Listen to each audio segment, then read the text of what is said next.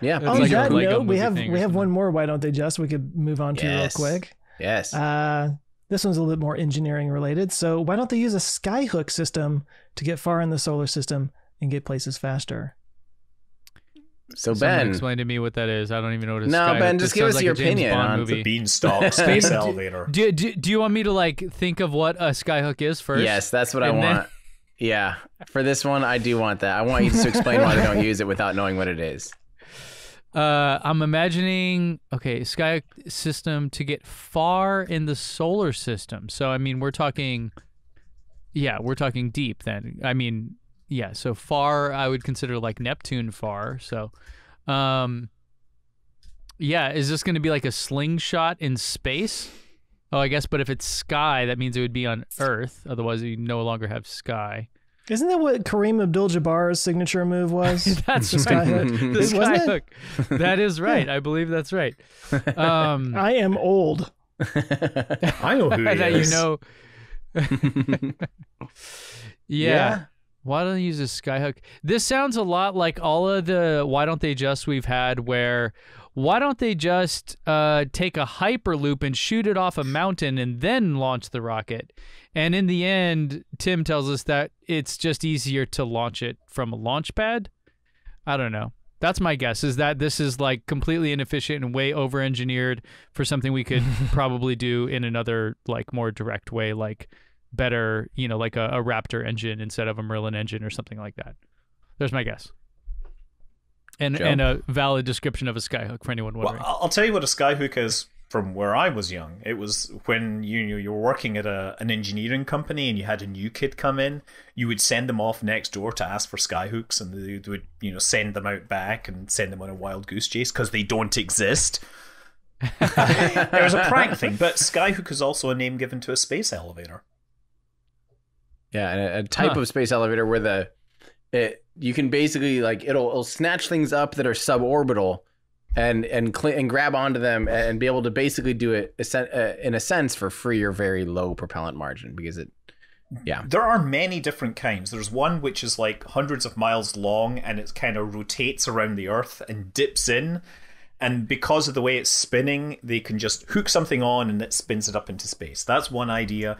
There's another one where you've got a hmm. tower that is basically vertical, like going between like a thousand kilometers and maybe 200 kilometers.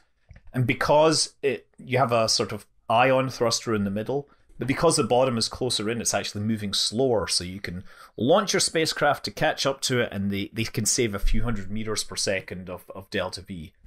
Got it. Okay, so it's something that's living in space that's reaching back into the atmosphere. There are many different I mean- definitions of the term. The reason why yeah. these haven't been used is, first of all, a lot of engineering to make it happen. Uh, if you're talking about beanstalks or space elevators, then you need material strengths which still aren't quite there, right? If you're going to make things that are hundreds of kilometers long, made of perfect dislocation free carbon nanotubes, we haven't been able to make them that long, never mind, you know, we, we can't make them inches long, never mind hundreds of miles long.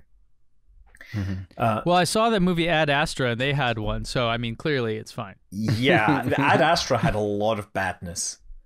Yeah, it was a it was a dumb was- person's idea of what a smart space movie was.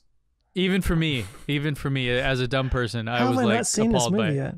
Don't don't waste your time. I, they, they know I I mean, about it, these it gets movies. referenced so much Yeah, though. they Yeah. if they just like come and ask me, you know, hey, hey, we've got these great ideas. I'm like, these are good ideas. If you make these changes, then your movie won't be dumb. It'll be Well, boring, there's but always- it, it'll not it'll at least be physically consistent with reality.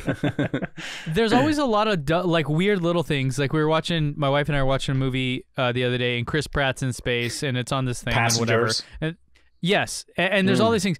The thing that got me is he's like out in space in this, uh, you know, in a suit, and he and he has a tear, and the tear falls down his face. Uh, I'm like, no, that's not what happens to a tear.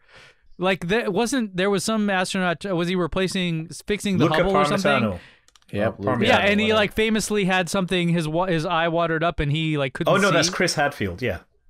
yeah, But Luca right, Luca almost drowned in a Parmitano's- spacesuit because Yeah. the, the fluid just sort of stuck to his face. He had a leak. exactly. That's what I mean. oh like, god. But Chris So- Hadfield so- got the. You know, Oh, a new phobia. oh yeah, drowning in spacesuit. Oh yeah.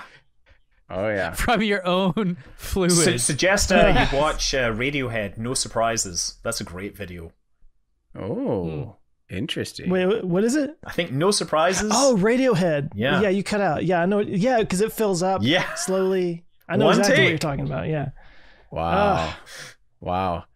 Um, and I'll, I'll go ahead and add to the skyhook thing real quick is is like it's just one of those things practically it's like in order to make something like that feasible you have to have a huge infrastructure a huge vehicle in space. You have to have i mean it's just one of those things like eventually someday we might have stuff like that. If if the feasibility looks like hey you know we could actually pay this off after x you know x amount of mass going towards mars or something. Sure maybe a skyhook might be you know feasible or or economically viable but for any time in the near future just to get a skyhook or something like that going and working and the material science like scott was talking about yeah we're, we're just not we're just not there yet we're talking pretty far future stuff Ju- I mean, if we don't kill each other first, Yeah. you know. Yeah. So just consider this: if you have a tower that goes to like a, an orbital tower or a space elevator that goes to geostationary orbit, right? And imagine Mm-hmm. you put an elevator on the side of it. What's the fastest elevator you've ever been on? oh maybe a mile you know, an like hour? maybe they go like don't know, 10, two 15 miles an hour, right? Uh, yeah no idea Okay, can you imagine crossing thirty-six thousand miles or kilometers on a, an average elevator? These it's not just an elevator. This is like a train ride that's Mhm. going faster than any train you've ever been on, and it's going vertical. Right? yeah There's a lot of engineering problems to solve, even if you can build a structure like that. And of course, I'm I'm very much about pointing out the flaws and problems in these schemes and being totally amazed when people solve them because I expect Well- people to solve them. That's Right. the thing, right? If you're uh, so my philosophy in business in a lot of ways has always been like come up with a crazy idea and have smart people tell me why it's not going to work and if I can fix all the things that, the reasons that they tell me it's not going to work, it's going to work. So I think like you're doing a service Yes, by am doing that, right? By saying, "Hey, don't do this, don't do this, don't do or this isn't going to work, this isn't going to work, this isn't going to work." It's like, "Cool. Now we have a roadmap of how to fix those things." And if they're insurmountable, then we shouldn't do it, you know. right Hey guys, thanks so much for watching this clip from our show. If that's just not enough for you and you want to watch the full episode, you can go to olfpod.com slash YT.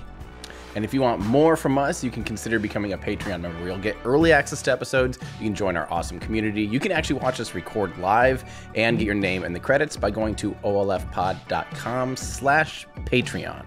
So thanks everyone for watching. Check back every Friday for new clips here and new episodes on the main channel. Thanks, everybody.